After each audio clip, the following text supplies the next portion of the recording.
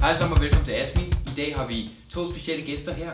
Øhm, en Imran og en Iger. Og øhm, de skal svare på spørgsmål i dag. I dag er det ikke mig, fordi at, øhm, i dag er det dem. Ikke? Hvem er I, og hvorfor? Jeg er Iger. Jeg hedder Imran. Jeg har været med i Simons video lige fra starten af. Ja. Nogle af jer kan måske huske mig. Hvor gamle er I? Så er ikke. Øh, jeg er 17. Jeg er 18. Har I en kæreste? Du sejrer. Nej. Nej, det er ikke mig.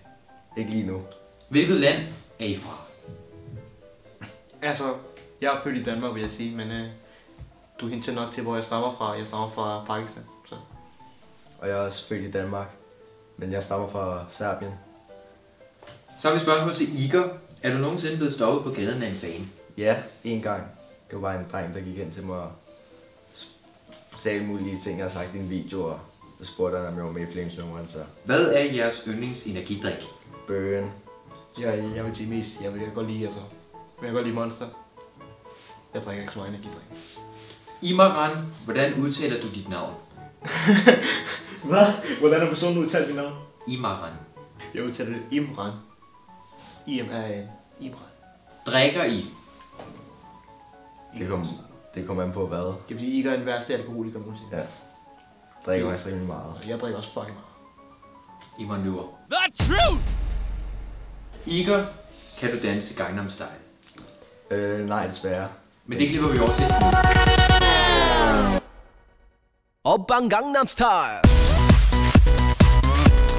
Gangnam Style Op, op, op, op Opbang Gangnam Style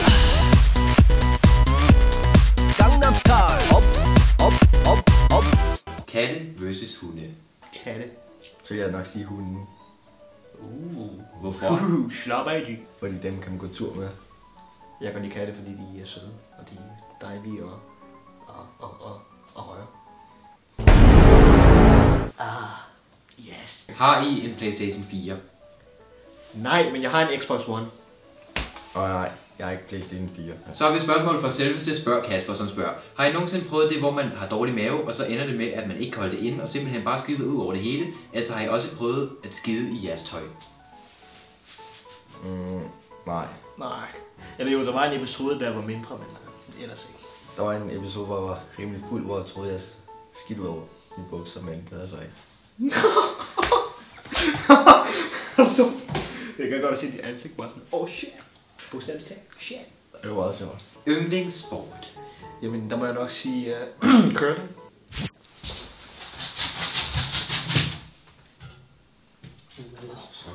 Curling er altså spændende. Okay. Iger, ser du fodbold? Øh, ja, det gør jeg. Hvis I måtte få tre gratis ting, hvad skulle det så være? En bil. Og privat ø eller sådan noget shit. Jeg ved ikke. Øh, jeg vil nok have en, øh, en mega sindssygt hurtig supercomputer, og så en øh, Playstation 4, og så en splinter ny bil. Har I et specielt talent? Men ikke ud over sport. Nej. Øh, nej, det tror jeg sgu ikke. Har I hjulpet Simon med mange videoidéer? Uh, i, altså, I fortiden, ja, det havde jeg, fordi at når mig og Simon, vi lavede video, Simon og jeg lavede video sammen, så var det altså, så var det sådan mig, der kom for, med grundlaget for videoen, og så, så sådan tilføjede han, og så blev det til vores idé. Og nu er det bare sådan, Jo, jeg har været med til at finde på idéer, og ja, mest Simon, der lavede de store idéer, så meget Simon og jeg. Vi har bare lige prøvet lidt mere. De store idéer. Hvor længe har I kendt Simon?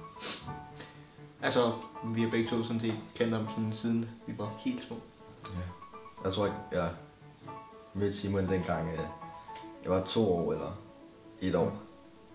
Så jeg er opvokset sammen med Imran og Simon. Ja, vi, er, vi er sammen sådan barndomsvenner, vi har kendt hinanden ret ret lang tid. Har I overvejet at starte på YouTube nu, når jeres ven allerede er i gang?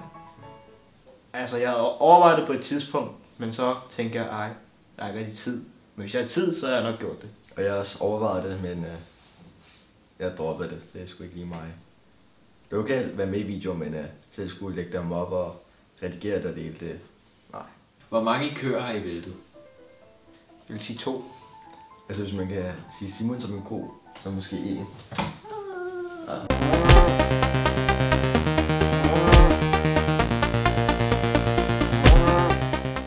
Igor og Imran, hvis du også spiller Diablo 3, hvad er jeres yndlingskarakter? Altså Demon, Hunter, Wizard osv. Jeg, jeg ved ikke, hvad Diablo er, okay? Jeg spiller det. Det er nok den nye klasse. The Crusader, den kan jeg godt lide. Eller også Demon Hunteren. Hvad er det mest effektive i rummet lige nu til at dræbe zombier med? Tændstikker.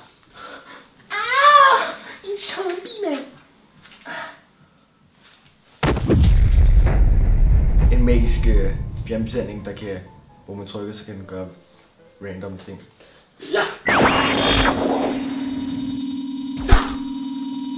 Vidste I godt, at hvis man byttede om på jeres forbogstaver, så ville det være det samme? Nej. Hvad? Yndlingsspil. Jeg spiller mest sportsspil. Jeg spiller sådan... Øh, mit yndlingsspil vil nok være NBA 2K. Men lige nu er jeg i gang med at spille meget Diablo. Så Går du på medieskole eller rigtig folkeskole? PS, Igor prøver at sige burn, burn, understand, burn, udtales barn, barn, understand, barn. Men nej, jeg går ikke på medieskole. Jeg går på en 10. klasse. Hvad skulle jeg udtale? Prøv at sige burn, burn, understand, burn, udtales barn, barn, understand, barn. Burn, burn, understand. Udtales barn, barn.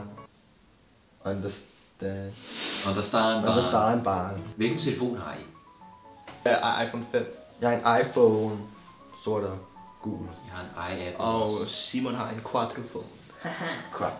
Hvad vil I være, når I kan få et job? Og efter universitetet, så vil jeg gerne være noget med økonomi.